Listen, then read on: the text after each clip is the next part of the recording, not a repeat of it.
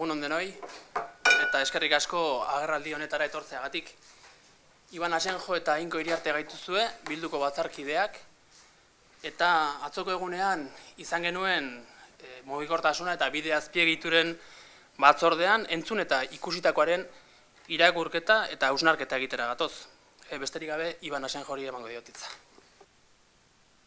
Bai, egunon guztioi, Nire lagunak esaten zuen moduan, ba, ezkerik asko etortzegatik, e, da bizi, ba, dakizuen moduan, atxo e, konparezentzia bat eskatuta zegoen, eta atxo PNB-ko irukideek bidegin inguruko irregulartasunen inguruan e, hitz egiteko etorri ziren. Eskaera hori bildu batzarki taldeak eskatu zuen, eta gure asmoa zan, herri kontuen Euskal Epaitegiak esan dakoen arira, ba, argitasun askatzea, azalpenak eskatzea eta galderak egitea. Zoritzarrez, ezan behar dugu, bildu batzarki taldeak luzatutako galderak erantzun gabe geratu zirera. Eta ez hori bakarrik, emandako hainbat azalpenen artean, gezurrak ere egon ziren.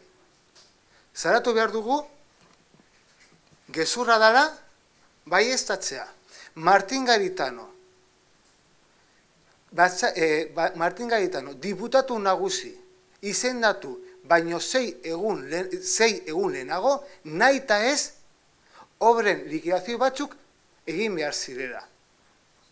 Gezurra da, Martin Gaetano, diputatu nagusi, izendatu, baino zei egun lehenago, hogei milioiko likidazio bat nahi eta ez egin behar zara. Epea askoz luzeagoa zan.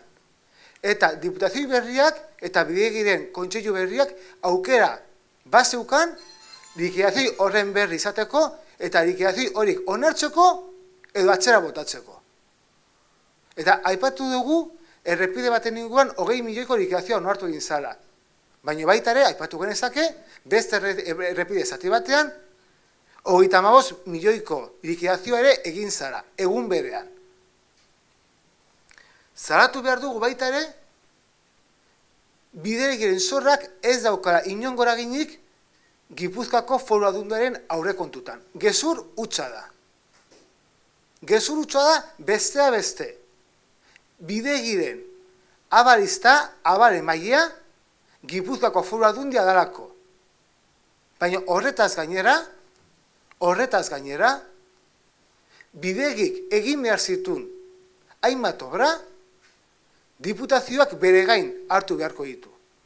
Aipaitu genezake, aipatu genezake, garraio iria, hogeita bost milioi, milioitan aurre ikusita zegora aurreko egizaturan, edo aipatu genezake baitare, antxura bergara zatia. Bidegik peajea jarriko du, bide, e, bide zaila jarriko du, baino diputazioak egin beharko du zati hori. Era berean, Irikiazi begira, hainbat galdera erantzun gabe geratu ziren. Beste beste, hiru aipatuko ditut. Irikiazi txostena dioen moduan, neurketetan eta obra unitatetan aldeak egon ziren. Zergatik ezen aldaketa proiektu bat idatzi eta ez zuen diputatu kontseiluak onartu. Legeak dioen moduan. Nola da posible? Bidegiko zuzendariak unitateak eta neurketak aldatzea. Dibutatu kontseiluak onartu gabe eta inongo proiektuk babestu gabe. Herri kontuen Euskal Epaitegiak dioen moduan. Nola liteke konstruktorak azken zertifikazioa baino lehenago tramitatutako hainbat aldaketa onartzea eta beraz bertako prezioak eta unitateak onartzea, eta ondoen hausasun hori, haustea likidazioaren unean. Ta baita esan behar dugu, enpresa erakitzairekin epaitegitara joatearen beldura aipatu zutela, behin eta berriro. Akordiorik ez badago, bidegik bere teknikariek esandakoan konfiantza badu zein beldur izan dezake bidegik edo aldundiak epaitegia joateko.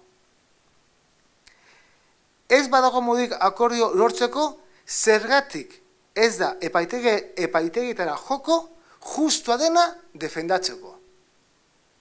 Lanak jada bukatuta eta inauguratuta baldin bat zeuden, zergatik herritarrei kalte egin behar zitzaien. Dibutazioko teknikarien txostena bestaldetik, aipatu behar dugu, herri kontuen epaitegiak aipatutako kasuetan galdera bat jarri zuen mai gainean. Gipuzkoako foru adundiko teknikariek aldaketak gainbiratzeko txostenak egin zituzten, bidegi kontrolatzeko modu gisa. Baina une batetik aurrera, txosten hori ez egitea agindu zuten.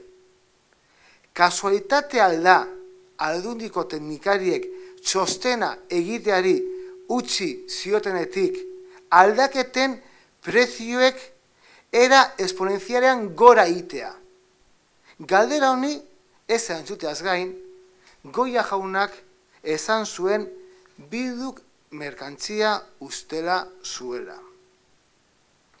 Eta batzar naguseteko batzordean ez, baino handik kanpo nahi izan ez gero, hitz egingo zuela gai horren inguruan. Zer esan nahi zuen horrekin? Zer du esku artean, batzar nagusietan esan ezin dana mai gainean jarri diren galderei etzaie erantzunik eman. Jarrera defentsiboa eta biktimista agerikoa zen eta galderei erantzun beharrean gaia desbideratzen saiatu ziren behin eta berriz. Gauzak nahastu nahian. Baina azkenean, herriari etzitzaion azaldu Tribunal Basko de Cuentas Públicas delakoak egiten dituen salaketak. Eta gainera, inongo lotxari gabe, esan zuten oikoak direla horrelako txostenak Tribunal Basko de Cuentas Públicas delakoaren aldetik. Hori alda zalpen bat.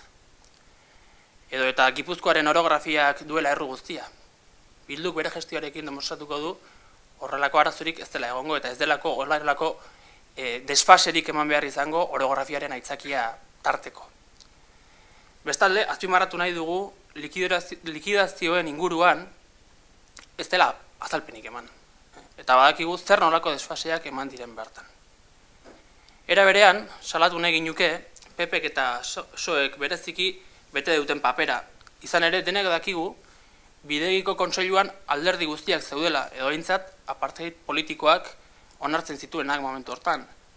Honek ez die euren ardura kentzen, eta horrelako gertaera larrien, larrien aurrean, ezin dute isilik geratu. Guzti hau esan da, bilduren hausnarketa berriro ere mai gainean jarriko dugu. Edo oso kudeak eta txarra egin duzue, administrazioaren kontua gainera kolokan jarriz, edo herri interesen aurretik konstruktora handien interesak jarri dituzue. Bildutik, helburu bakarra dugu guzti honekin. Gipuzkoako gizarteari kudeaketa publikoaren inguruan zor zaion gardentasuna, errespetua informazioa eta kontrola bermatzea. Bestelako intentzio bereziak bilatu nahi izatea maltzurkeri utxalitzak. Eskerrik asko.